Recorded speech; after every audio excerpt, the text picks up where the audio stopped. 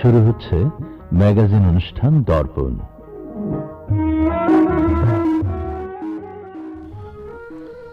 সুপ্রিয় শ্রোতা বন্ধুরা, উনিশশো সালের রক্তঝরা একুশে ফেব্রুয়ারি আমাদের জাতিসত্তার চাবিকাঠি। মহান ভাষা আন্দোলনের মাস ফেব্রুয়ারির অমলিন স্মৃতি জড়িয়ে আছে বাংলাদেশের মানুষের স্বাধিকার ও স্বাধীনতা আন্দোলনের চেতনার মূলে। ভাষার মাস ফেব্রুয়ারি আমাদের শোক, প্রেরণা শপথ ও অঙ্গীকারের এক মিলিত স্রোতধারা। একুশের পথ ধরেই বাংলার মানুষ ধাবিত হয়েছিল স্বাধিকার থেকে স্বাধীনতার দিকে। একুশে ফেব্রুয়ারি একই সাথে মহান শহীদ দিবস এবং আন্তর্জাতিক মাতৃভাষা দিবস।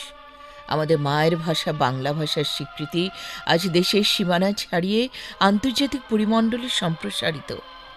উনিশশো নিরানব্বই সালে ইউনেস্কো কর্তৃক একুশে ফেব্রুয়ারিকে আন্তর্জাতিক মাতৃভাষা দিবস হিসেবে স্বীকৃতি প্রদান এবং দু হাজার এক সাল থেকে প্রতি বছর এ দিনে সারা বিশ্বব্যাপী যথাযোগ্য মর্যাদায় আন্তর্জাতিক মাতৃভাষা পালনের মধ্য দিয়ে আমাদের আমরি বাংলা ভাষার বিশ্বায়ন প্রক্রিয়াটা শুরু হয়।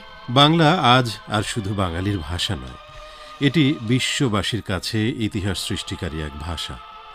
সারা বিশ্বের মাতৃভাষা ও অধিকারজনিত সংগ্রাম ও মর্যাদার প্রতীকে পরিণত হয়েছে অমর একুশে ফেব্রুয়ারি।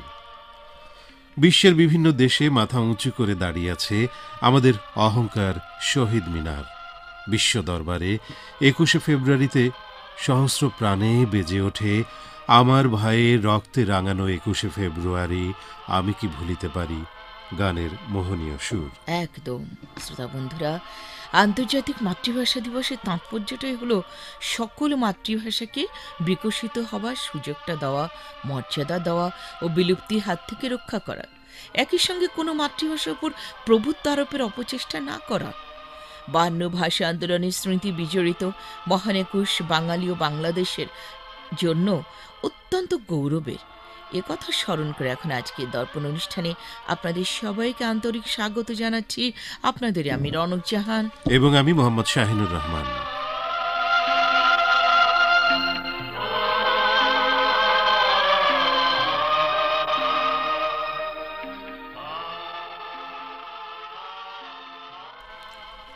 সুপ্রিয় শ্রোতা বন্ধুরা, এবার করোনা নিয়ে কিছু বলতে চাই। আমাদের দেশে করোনা ভাইরাস সংক্রমণের বিস্তার রোধে সরকার সম্প্রতি কিছু বিধিনিষেধ আরোপ করেছে। এসব বিধিনিষেধ আপাতত আগামী একুশে ফেব্রুয়ারি মধ্যরাত পর্যন্ত বলবৎ থাকবে। তবে স্কুল, কলেজ ও সমপর্যায় শিক্ষা প্রতিষ্ঠান চলতি মাসের শেষ দিন পর্যন্ত বন্ধ ঘোষণা করা হয়েছে। শুধু তাই নয়, করোনার সাম্প্রতিক ঢেউ মোকাবিলায় সরকারের সর্বশেষ নির্দেশনা অনুযায়ী প্রাথমিক শর্তগুলো কি হচ্ছে মন দিয়ে শুনুন। দোকানপাট, শপিং মল, বাজারে ক্রেতা, বিক্রেতা এবং হোটেল, রেস্তোরাঁ সহ সব ধরনের জনসমাগমের স্থলে সবার জন্য মাস্ক পরা বাধ্যতামূলক তো রয়েছেই এছাড়াও রেস্তোরাঁয় বসে খাবার গ্রহণ এবং আবাসিক হোটেলে থাকার জন্য অবশ্যই করোনার টিকা গ্রহণের সনদ প্রদর্শন করতে হবে। শ্রোতা বন্ধুরা কোভিড সংক্রমণ এদেশে সম্প্রতি ঊর্ধ্বমুখী হওয়ায় সরকারি নির্দেশনায় উন্মুক্ত স্থানে সব ধরনের অনুষ্ঠান ও সমাবেশ নিষিদ্ধ করা হয়েছে। এসব নির্দেশনা ও নিষেধাজ্ঞা বাস্তবায়নে সবাইকে আন্তরিক হতে হবে। কিন্তু বাস্তবে কি হচ্ছে? বাস্তবতা নিয়ে কি দেখা যাচ্ছে? সেটা হচ্ছে করোনার সংক্রমণ ঊর্ধ্বমুখী হওয়া সত্ত্বেও স্বাস্থ্যবিধি মানছে না বহু মানুষ। মাস্ক পরছে না, ধাক্কাধাক্কি করছে, মনে করছে টিকা নিয়েছি, ব্যাস, আর আমার কিছু হবে না। হাট, বাজার, গণপরিবহনে স্বাস্থ্যবিধির মানার সেখানেও কোনো প্রমাণ দেখা যাচ্ছে না। এটা কিন্তু কাম্য নয়। আসুন, আমরা সবাই নিজ দায়িত্বে স্বাস্থ্যবিধি মানার বিষয়ে সচেতন হই এবং অন্যদেরও সচেতন হওয়ার জন্য পরামর্শটা দান করি।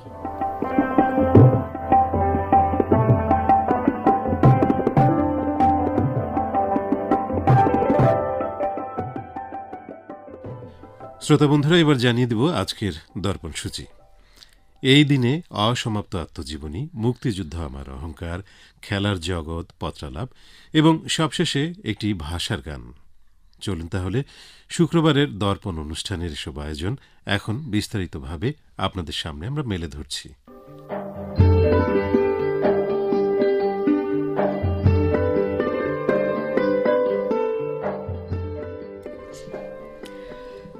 তো বন্ধুরা, এখন কি? এই দিন, এই দিনে দিয়ে শুরু করতে হবে। আচ্ছা আজ এগারোই ফেব্রুয়ারি দু হাজার বাইশ খ্রিস্টাব্দ। গ্রেগরীয় বর্ষপঞ্জি অনুযায়ী বছরের উনচল্লিশতম দিন। এখন আজকের দর্পণ এই দিনের পর্ব থেকে জেনে নিন।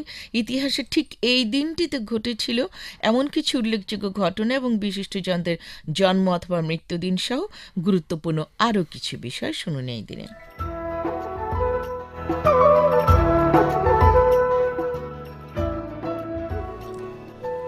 যুক্তরাষ্ট্র সিনেটের প্রথম অধিবেশন জনসাধারণের জন্য উন্মুক্ত করা হয় সতেরোশো চুরানব্বই সালের এই দিনে। উনিশশো আটাত্তর সালে এই দিনে অ্যারিস্টটল শেক্সপিয়ার এবং ডিকেইন্সের উপর গবেষণা ক্রম নিষিদ্ধ করে চীন। উনিশশো উনআশি সালে এদিন আয়াতুল্লাহ রুহুল্লাহ খোমেনির নেতৃত্বে ইরানি ইসলামিক শাসন প্রতিষ্ঠা করা হয়। আর উনিশশো নব্বই সালে এই দিনে দক্ষিণ আফ্রিকার জেলখানা থেকে সাতাশ বছরের রাজনৈতিক বন্দিত্ব শেষে মুক্তি পান অবিসংবাদিত নেতা নেলসন ম্যান্ডেলা। মার্কিন উদ্ভাবক এবং ব্যবসায়ী টমাস আলভা এডিসন জন্মগ্রহণ করেন আঠারোশো সাতচল্লিশ সালের এই দিনে। বাঙালি কবি ও ছড়াকার সত্যেন্দ্রনাথ দত্ত জন্মগ্রহণ করেন আঠারোশো বিরাশি সালের এই দিনে। প্রখ্যাত বাঙালি সাহিত্যিক সৈয়দ মুজতাবা আলী ইন্তেকাল করেন উনিশশো সালে এই দিনে। দর্পণ বন্ধুরা, আজ আপনাদের যাদের জন্মদিন, তাদের সবাইকে দর্পণ পরিবারে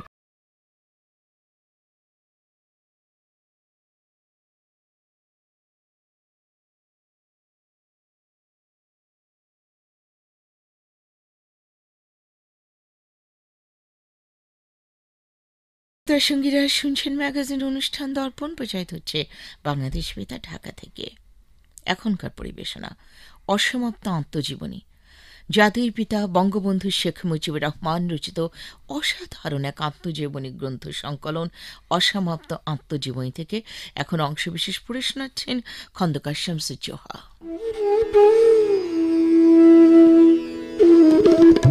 আমি আর ইয়াকুব নামে আমার এক ফটোগ্রাফার বন্ধু পরামর্শ করলাম, আজ মহাত্মাজিকে একটা উপহার দিব। ইয়াকুব বলল, তোমার মনে আছে আমি আর তুমি বিহার থেকে দাঙ্গার ফটো তুলেছিলাম? আমি বললাম হ্যাঁ মনে আছে। ইয়াকুব বলল, সমস্ত কলকাতা ঘুরে আমি ফটো তুলেছি। তুমি জানো না, তার কপিও করেছি। সেই ছবিগুলি থেকে কিছু ছবি বেছে একটা প্যাকেট করে মহাত্মাজিকে উপহার দিলে কেমন হয়? আমি বললাম, চমৎকার হবে। চলো যাই প্যাকেট করে ফেলি। যেমন কথা, তেমন কাজ। দুইজনে বসে পড়লাম। তারপর প্যাকেটটা এমনভাবে বাঁধা হলো যে কমপক্ষে দশ মিনিট লাগবে খুলতে। আমরা তাকে উপহার দিয়েই ভাগব। এই ফটোর মধ্যে ছিল মুসলমান মেয়েদের স্তন কাটা, ছোট শিশুদের মাথা নাই, শুধু শরীরটা আছে। বস্তি, মসজিদে আগুন জ্বলছে, রাস্তায় লাশ পড়ে আছে, এমনই আরও অনেক কিছু। মহাত্মাজি দেখুক, কীভাবে তার লোকেরা দাঙ্গা হাঙ্গামা করেছে এবং নিরীহ লোককে হত্যা করেছে। আমরা নারকেল ডাঙ্গায় মহাত্মাজির ওখানে পৌঁছালাম। তার সাথে ঈদের মোলাকাত করব বললাম। আমাদের তখনই তার কামরায় নিয়ে যাওয়া হলো। মহত্তাজি আমাদের কয়েকটা আপেল দিলেন। আমরা মহাত্মাজিকে প্যাকেটটা উপহার দিলাম। তিনি হাসি মুখে গ্রহণ করলেন। আমরা অপরিচিত, সেদিকে তাঁর ভ্রুক্ষেপ নেই। তবে বুঝতে পারলাম, তার নাতনি মনু গান্ধী আমার চেহারা দেখেছে ব্যারাকপুর সভায়। কারণ আমি শহীদ সাহেবের সাথে প্ল্যাটফর্মে বসেছিলাম। আমরা উপহার দিয়ে চলে এলাম তাড়াতাড়ি হেঁটে। শহীদ সাহেব তখন ওখানে নাই। বন্ধু ইয়াকুবের এই ফটোগুলি যে মহাত্মা গান্ধীর মনে বিরাট দাগ কেটেছিল, তাতে সন্দেহ নাই।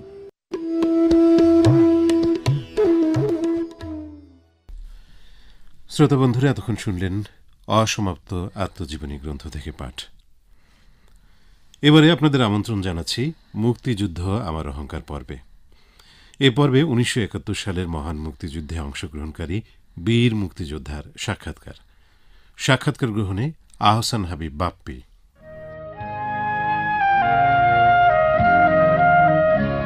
সাগরে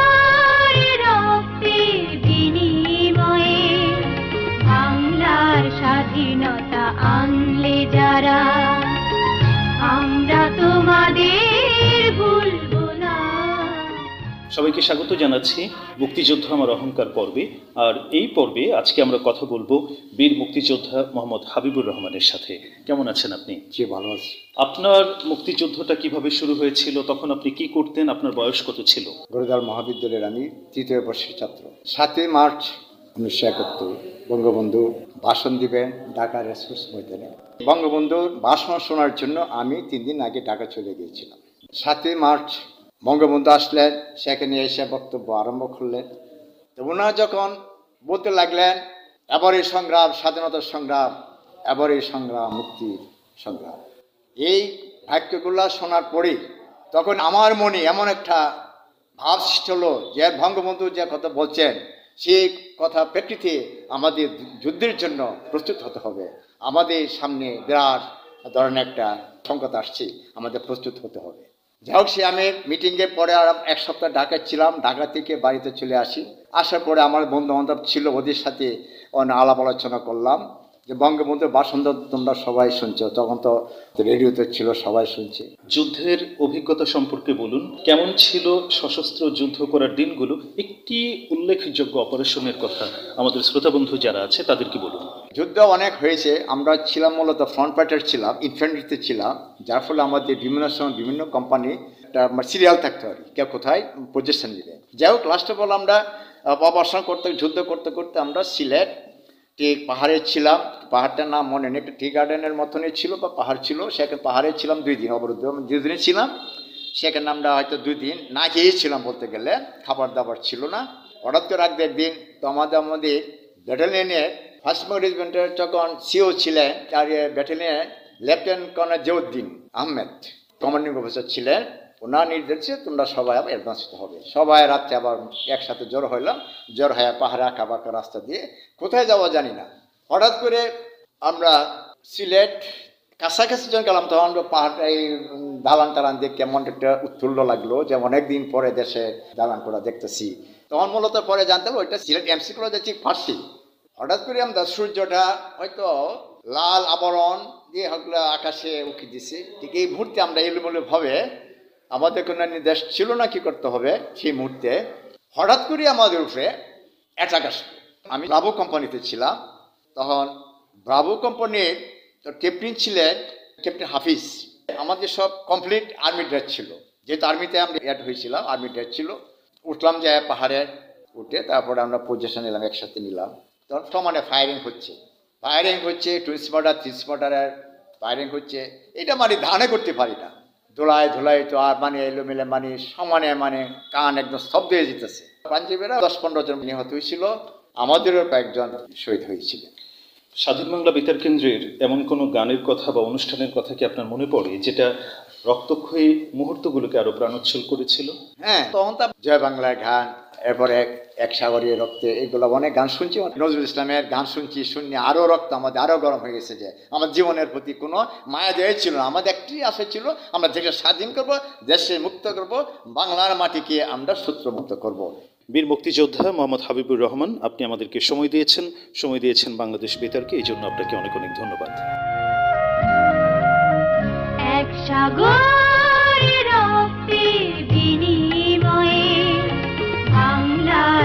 স্বাধীনতা আনলে যারা আমরা তোমাদের ভুলব না। চলুন শ্রোতা বন্ধুরা এগিয়ে যায় আজকে দর্পণ পরবর্তী পরিবেশনা। এ পর্বের নাম খেলার জগৎ। দেশ বিদেশের মাঠে মাঠে অনুষ্ঠিত গত এক সপ্তাহের উল্লেখযোগ্য জাতীয় আঞ্চলিক ও আন্তর্জাতিক খেলাধুলোর খবর নিয়ে বিশদ আলোচনা।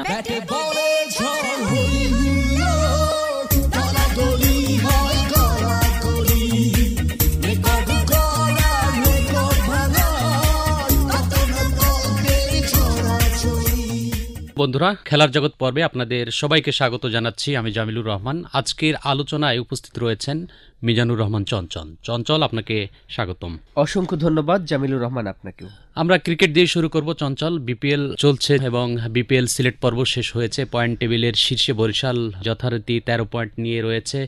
কুমিল্লা ভিক্টোরিয়ান্স দ্বিতীয় স্থানে এগারো পয়েন্ট নিয়ে এবং মিনিস্টার গ্রুপ ঢাকা ন পয়েন্ট নিয়ে তৃতীয় স্থানে রয়েছে এবং খুলনা এখন পর্যন্ত আট পয়েন্ট নিয়ে চতুর্থ স্থানে রয়েছে। তবে ইতিমধ্যে কিন্তু সিলেট বিদায় নিয়েছে। ঢাকা পর্ব তো শুরু হতে যাচ্ছে আজ থেকেই। কেমন দেখলেন? জামিল ভাই সিলেট পর্বে কিন্তু মোটামুটি রান হয়েছে আমরা লক্ষ্য করেছি। যে রান খরায় বিপিএল ভুগছিল সেখান থেকে কিছুটা হলো রিকভার হয়েছে। এবং আপনি জানেন যে সবচেয়ে আসার কথা হলো সর্বোচ্চ রান সংগ্রহকারী ব্যাটসম্যানদের পাঁচজনের মধ্যে তিনজন বাংলাদেশি সর্বোচ্চ উইকেট শিকারী পাঁচজনের মধ্যে তিনজন বাংলাদেশি এটি কিন্তু ভালো দিক। পাশাপাশি আমরা দেখেছি যে হারিয়ে যাওয়া ক্রিকেটার যারা ছিলেন তার মধ্যে এনামুল বিজয় ইমরুল কায়েস নতুন করে কিন্তু চিনিয়েছেন। এবং আসন্ন আফগান সিরিজে হয়তো তাদেরকে আমরা দেখতে পারি। পাশাপাশি তরুণ বিশেষ করে মুনিম শাহরিয়ার কথা বলতে হয় ওপেনিং স্লটে বেশ ভালো তিনি করছেন। এছাড়া বোলার স্বাধীন ভালো বল করছেন মৃত্যুঞ্জয় চৌধুরী ভালো বল করছেন। এবং পাশাপাশি তানভীর ইসলাম তিনিও কিন্তু ভালো করছেন। হ্যাঁ আমরা দেখেছি যে তরুণ ক্রিকেটারদের মধ্যে অনেকেই ভালো পারফরমেন্স করেছেন। এবং এ কারণে আমরা আশাবাদী যে আসন্ন হোম সিরিজ যেটি আফগানিস্তানের বিপক্ষে তিন ম্যাচের ওয়ানডে সিরিজ যেটি আইসিসি ওডিআই সুপার T20 দুটি টি টোয়েন্টি এরপরে কিন্তু মার্চ মাসে দক্ষিণ আফ্রিকার সিমিং কন্ডিশনে গিয়ে বাংলাদেশকে খেলতে হবে দুটি টেস্ট ম্যাচ এবং তিনটি ওয়ানডে ম্যাচ সেটিও কিন্তু আইসিসি টেস্ট চ্যাম্পিয়নশিপ এবং আইসিসি ওডিআই সুপার লিগের অন্তর্ভুক্ত। আরেকটা বিষয় চঞ্চল, সেটি হচ্ছে যে তামিম ইকবাল রান পাচ্ছেন সাকিব আল হাসান। তিনি যে নিষেধাজ্ঞায় ছিলেন, নিষেধাজ্ঞার পরে কিন্তু সেভাবে নিজেকে মেলে ধরতে পারছিলেন না। এই জায়গায় এসে কিন্তু একেবারে পুরোপুরি তিনি বলে ব্যাটে সমান পারদর্শিতা দেখাতে পারছেন, মেলে ধরতে পারছেন। তো আরেকটা বিষয়, সেটি হচ্ছে যে দীর্ঘদিন আমরা দেখেছি জাতীয় দলের ওপেনার হিসেবে টি টোয়েন্টিতে নাইম শেখ খেলেছেন। তাকে এই সিরিজে কেন ওপেনার হিসেবে খেলানো হচ্ছে না? এটা তো আমাদের জন্য ব্যর্থতা। এই দিকটাতে বিসিবির নজর দেওয়া উচিত নয় কি? অবশ্যই তবে নাইমের ফুটওয়ার্ক নিয়ে তার প্রশিক্ষক যারা রয়েছেন তাদের কিন্তু যথেষ্ট সন্দেহ রয়েছে। তিনি রান পেয়েছেন কিন্তু তার ফুটওয়ার্কে একটু সমস্যা থাকার কারণে যেহেতু দীর্ঘমেয়াদী প্ল্যানিং নিয়ে বিশেষ করে চলতি বছর টি টোয়েন্টি বিশ্বকাপকে ঘিরে আরও বড় প্ল্যানিং রেখেছে বিসিবি। যে কারণে হয়তোবা তারা ওখানে উদ্বোধনী ব্যাটসম্যান নাইম শেখের কাছ থেকে কিছুটা হলো সরে যাচ্ছেন। দেখুন তিনি কিন্তু জাতীয় দলে টানা বাইশ থেকে তেইশটা ম্যাচ খেলেছেন। সেই একজন ওপেনারকে কেন বাংলাদেশ প্রিমিয়ার লিগে তাকে ওপেনিং এ রাখা হবে না? যে দলটি তাকে নিবে এই বিষয়টি দেশের স্বার্থে অন্তত গুরুত্ব দেওয়া উচিত ছিল। এবার আমরা আন্তর্জাতিক ক্রিকেটের দিকে একটু নজর দিব। ইন্ডিয়া এবং ওয়েস্ট ইন্ডিজের মধ্যে ওয়ানডে সিরিজ চলছে। ইতিমধ্যে দুটি ওয়ানডে অনুষ্ঠিত হয়েছে। দুটিতেই কিন্তু ইন্ডিয়া জয়লাভ করেছে। হ্যাঁ এবং আজকে শেষ ওয়ানডে ম্যাচটি অনুষ্ঠিত হবে। প্রথম ওয়ানডেতে ছয় উইকেট এবং দ্বিতীয়টিতে চুয়াল্লিশ রানে জয়লাভ করেছে ভারত। তবে সেখানে ওয়েস্ট ইন্ডিজ দ্বিতীয় ম্যাচে জিততেও পারতো, মাত্র দুশো সাঁত্রিশ রান তারা করতে পারেনি এবং ভঙ্গুর ব্যাটিং লাইনে আমরা লক্ষ্য করেছি, অন্যদিকে ভারতীয় বোলাররা ভালো বল করেছেন। তবে বিরাট কোহলি রান খরা এখনও ভুগছেন, প্রথম ম্যাচে আট, দ্বিতীয় ম্যাচে আঠারো রান করেছেন। রোহিত শর্মার নেতৃত্বে ভারত ভালো ক্রিকেট খেলছে। অবশ্যই। অনূর্ধ্ব উনিশ বিশ্বকাপের কথা না বললেই নয়, ভারত চ্যাম্পিয়ন হয়েছে, বাংলাদেশ তো গতবারে চ্যাম্পিয়ন ছিল। বাংলাদেশ অষ্টম স্থান অর্জন করে শেষ করেছে। ভারতের যে, এই যে অর্জনটাকে, এটাকে কীভাবে দেখছেন আপনি? জামিলুর রহমান টানা পঞ্চমবার কিন্তু ভারত আন্ডার নাইনটিন দল ফাইনালে খেললো এবং তারা কিন্তু সবচেয়ে সফল দল এই মুহূর্তে আন্ডার নাইনটিন ওয়ার্ল্ড কাপে সেখানে শেখ রাশিদ ইয়াস ঢুল দুর্দান্ত ক্রিকেট খেলেছেন এবং ভারতের ভবিষ্যৎ যে অনেক উজ্জ্বল সেটি কিন্তু আমরা লক্ষ্য করলাম। এবং তৃণমূল পর্যায় থেকে ক্রিকেটার উঠিয়ে এনে দলটাকে শক্তিশালী করার যে আপ্রাণ প্রচেষ্টা সেই প্রচেষ্টার সুফল কিন্তু পেল ভারত। অবশ্যই, এবং ফুটবলের কথা না বললেই নয়, বাংলাদেশ প্রিমিয়ার লিগ ফুটবল চলছে চঞ্চল। এবারের ফুটবলে মাঠের যে অভাবটা দারুণভাবে ফুটে উঠেছে। হ্যাঁ আসলে এই মাঠ নিয়ে অনেক কথা হলো। প্রথমে সাতটি মাঠ, পরবর্তীতে দুটি, আবারও ছয়টি মাঠে খেলা হবে এখনও বলা হচ্ছে।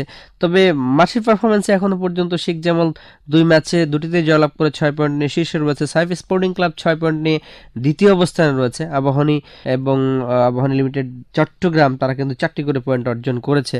তো সবচেয়ে বড় কথা হলো যে এই আসরে এখনও পর্যন্ত উনিশটি গোল হয়েছে, যার মধ্যে চারটি মাত্র গোল দেশি স্ট্রাইকাররা, বাকি পনেরোটি গোল কিন্তু হয়েছে বিদেশি স্ট্রাইকারদের পা থেকে। এই জায়গাগুলোতে একটু নজর দেওয়া উচিত দেশের ফুটবলের স্বার্থে। আমাদের দেশের ক্লাবগুলোতে যেন স্ট্রাইকাররা বেশিরভাগ পজিশনে বাংলাদেশি খেলোয়াড়রা খেলেন, সেটি আমাদের কাম্য। অবশ্যই আফ্রিকান নেশনস কাপ জয়লাভ করল প্রথমবারের মতো সেনেগাল, মিশরকে হারিয়ে। এই কাপকে ঘিরে অনেকের নজর ছিল যে মোহাম্মদ সালার দিকে, অন্যদিকে সাদিও মানের দিকেও কিন্তু নজর ছিল। শেষ পর্যন্ত শেষ হাসি হেসেছে সাদিও মানে সেনেগালের প্রথম শিরোপজা অভিনন্দন সেনেগালকে চঞ্চল আপনাকে অনেক অনেক ধন্যবাদ আজকের মতো এখানে শেষ করছি সবাই ভালো থাকবেন খুব ভালো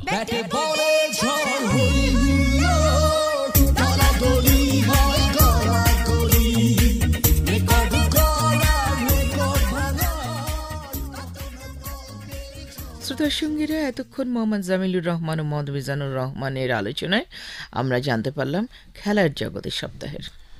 শুনছেন ম্যাগাজিন অনুষ্ঠান দর্পণ বাংলাদেশ বেতার ঢাকা থেকে। আমাদের এখনকার নিবেদন পত্রালাপ দর্পণ অনুষ্ঠান সম্পর্কে নিজস্ব অভিমত জানিয়ে আপনাদের লেখা চিঠিপত্রের উত্তর পত্রালাপ গ্রন্থনা করেছেন মুহাম্মদ নাসিমুল কামাল।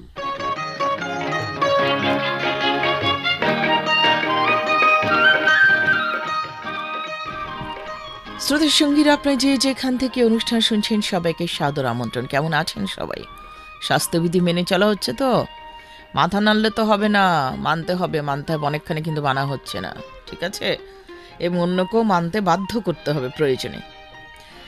গত সপ্তাহে একটা চিঠি রয়ে গিয়েছিল, লিখেছিলেন বি এম ফরিদ আহমেদ, মধুমতি বেতার শ্রোতার সংঘ ঘোড়াদায় সুলতান শাহী গোপালগঞ্জ। আপনি লিখেছিলেন, মুক্তিযুদ্ধ আমার অহংকার অনুষ্ঠানটি মাধ্যমে মুক্তিযোদ্ধাদের কণ্ঠে যুদ্ধ দিনের স্মৃতিচারণ আমার ভালো লাগছে, লাগারই কথা। যারা মুক্তিযুদ্ধ সম্বন্ধে জানেন না বা ওই সময় জন্ম নেননি, অনেক পরে এসছেন, তাদের পক্ষে মুক্তিযুদ্ধ সম্বন্ধে একটা আগ্রহ থাকবেই। আর যারা সেসব মুক্তিযুদ্ধের সঙ্গে একেবারে সম্পৃক্ত ছিলেন, তাদের কথা তো আলাদাই। ধন্যবাদ চিঠির জন্য। মোর্শেদা আক্তার নদী, আপনি তো একে বেঁকে যাচ্ছেন আপনি ডাইরেক্ট সাগরে যাচ্ছেন, কারণ একে বেঁকে গেলে দর্পণে পাশ দিয়ে যেতেন, আপনার চিঠি পেতাম। বহুদিন চিঠি পাচ্ছি না। ঠিক আছে? এবার যেন একটু মানে নদীর সিস্টেমে চলেন, কেমন? ঠিকানাটা বলি, সভাপতি দর্পণ, ও চমৎকার, দর্পণ বেতার শ্রোতা ক্লাব রাখা হয়েছে। আর যাওয়া হচ্ছে অন্য পাশ দিয়ে, হাঁসারপাড়া দাউদপুর, দিনাজপুর থেকে কি লিখেছেন শুনি? আঠারো উনিশশো কুড়ি তারিখের দর্পণে প্রচারিত সকল পরিবেশনা, আমার ভীষণ ভালো লেগেছে। ধন্যবাদ আপনাকে চিঠির জন্য, আবারও লিখবেন। আমার হাতে বেশ কয়েকটি চিঠি রয়েছে। প্রথমেই যে চিঠিটি হাতে নিয়েছি সাদা কাগজে সবুজ রঙের কালিতে চমৎকারভাবে লিখেছেন আমাদের এই বন্ধু এবং হাতে লিখেছেন নীল রঙের কালিতে মাহফুজ মুরাদ সভাপতি ইফটিজিং মুক্ত বেতার শ্রোতা সংঘ চরবাগুয়া সিংহা বাজার কাপাসিয়া গাজীপুর থেকে আমাদের এই বন্ধুর হাতের লেখাটি কিন্তু বেশ চমৎকার। একেবারে। পরিচ্ছন্ন ঝরঝরে। লিখেছেন ভাইয়া আপু চিঠির শুরুতেই খেজুরের রস খাবার আমন্ত্রণ রইল। লোভনীয় প্রস্তাব লোভনীয় প্রস্তাব কিন্তু অতিমারির কারণে যেতে পারছি না। তো থাকল প্রস্তাবটা। দর্পণ আমাদের কাছে সকল সেরা ম্যাগাজিন। বাহ চমৎকার লিখেছেন। আসলেই তাই এরকম কথা শুনলে কিন্তু আমাদেরও ভালো লাগে আর আমাদের সকল আয়োজন আপনাদের জন্যই কিন্তু নিবেদিত। আরও লিখেছেন দর্পণের প্রত্যেকটি পর্ব শ্রোতানন্দিত। ই আলাপন পর্বটি আমার কাছে বেশ ভালো লাগে। ক্রীড়া জগৎ পর্বে ক্রিকেটার মাশরাফি বিন মর্তুজার জীবনী সম্পর্কে জানতে চাই। পরিশেষে আপনাদের সুস্বাস্থ্য কামনায় আজকের মতো বিদায় নিচ্ছি। আমাদের পক্ষ থেকেও রইল আপনার জন্য অনেক অনেক শুভেচ্ছা এবং আপনার জন্য আমাদের সুস্বাস্থ্য কামনা সেটি তো রইলই। মোহাম্মদ আবু তালেব সহকারী পরিদর্শক, বাংলাদেশ ডাক বিভাগ আহসানগঞ্জ, নওগাঁ থেকে লিখেছেন, পত্রলাভ তোমাকে যতই শুনি, ততই যেন আমি মুগ্ধ হয়ে যাই। লিখেছেন, পৃথিবীতে আমার মা নেই, তাই বলে কি বেতার বেঁচে নেই? অর্থাৎ এই শ্রোতা যে তার মা নেই সেই অভাবটি বেতার দিয়ে বাংলাদেশ বেতার থেকে করার মানে চেষ্টা করছেন চমৎকার চমৎকার। আসলে আর লিখেছেন আমার মা এই অনুষ্ঠান শুনতেন আমার বাবা বলতেন বিশেষ করে দর্পণ অনুষ্ঠানে প্রাণের গীত মুক্তিযুদ্ধ আমার অহংকার এবং পত্রালাপ কি সুন্দর করে পত্রগুলো পাঠ করেন আপনারা। আমার মনটা যেন শীতল হয়ে ওঠে। তাই আশা রাখি দর্পণ অনুষ্ঠানে আরও ভালো ভালো পর্ব আশা করি এবং আপনাদের সুস্বাস্থ্য কামনা করি। কি কি পর্ব চান সেটা কিন্তু হ্যাঁ মাঝে লিখবেন আমাদের লিখে জানাবেন নিশ্চয়ই। আপনাদের আলোকিত দর্পণটা আমরা সাজিয়ে থাকি তাই না? ধন্যবাদ চিঠির জন্য। আমার হাতে এটাই শেষ চিঠি। হাতের লেখাটা একটু কষ্টকর ভাই পড়া। আগামীতে যদি একটু পরিষ্কার করে লেখেন সোজা করে লেখেন অক্ষরগুলো তো ভালো হয় আর কি। আছে যাই হোক। মোহাম্মদ বাদল শেখ ক্ষেতের পাড়া লৌহজং মুন্সীগঞ্জ কি লিখেছেন? ওহো, এই আপনারা কেউ কেউ চিঠিতে এমন কিছু কথা লেখেন, আমি আসলে আবেগপ্রবণ হয়ে যাই। লিখেছেন, সকালের ভাত খাওয়ার সময় প্রতিদিন দর্পণ শুনি আসলে সকালে ভাতটা কিন্তু আমার খুব প্রিয় ছিল।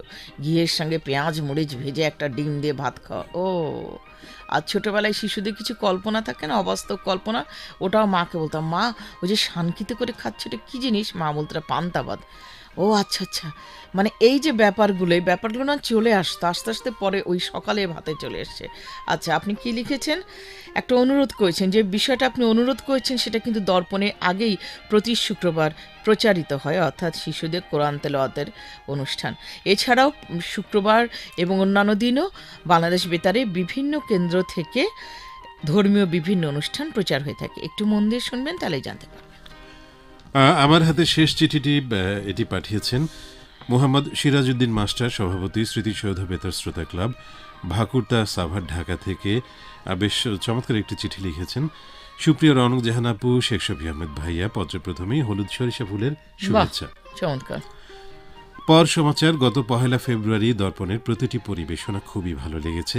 বিশেষ করে শুরুতে ভাষার মাস নিয়ে প্রাসঙ্গিক কথাবার্তা। বীর মুক্তিযোদ্ধার সাক্ষাৎকার আর এই পর্বে আহ, আব্দুস সাত্তার মৃধার সাক্ষাৎকার আপনার খুব ভালো লেগেছে সেটি লিখেছেন।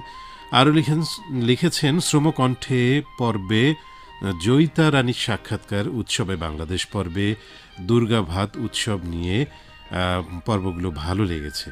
আর তার সাথে কিছুক্ষণ পর্বে ইলিয়াস কাঞ্চন ভাইয়ের সাক্ষাৎকারও তার ভালো লেগেছে জানিয়েছেন। অনেক ধন্যবাদ চিঠির জন্য। অনেক ভালো লাগা নিয়ে আজকে বিদায় নিতে হচ্ছে। বিদায়ের আগে একটু ঠিকানাটা সংক্ষেপে বলে দিলে বোধহয় ভালো হয়। পত্রালাপ ম্যাগাজিন অনুষ্ঠান দর্পণ প্রযত্নে পরিচালক বাংলাদেশ বেতার ঢাকা জাতীয় বেতার ভবন সৈয়দ মাহবুব মোর্শেদ সরণি শেরে বাংলানগর আগারগাঁও ঢাকা এক দুই শূন্য সাত। এছাড়াও আমাদের ইমেল রয়েছে ইমেল ঠিকানা হচ্ছে ই আলাপন বিবি Dhaka at Gmail dot com লিখবেন আশা করি। হ্যাঁ শ্রোতা বন্ধুরা আগামী শুক্রবার পত্রালাপে আবারও কথা হবে।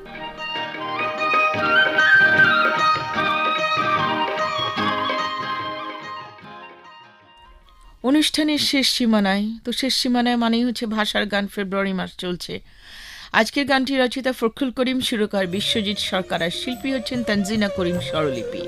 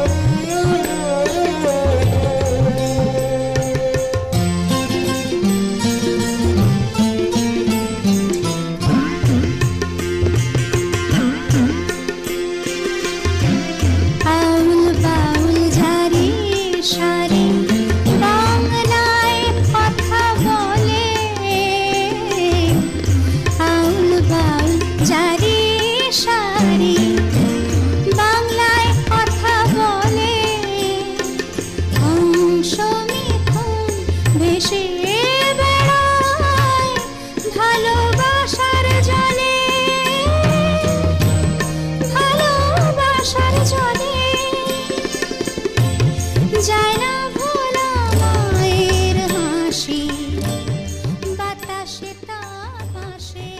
অনিন্দ সুন্দর একটি ভাষার গান শুনছিলাম, কিন্তু সময় যে বলছে যেতে হবে।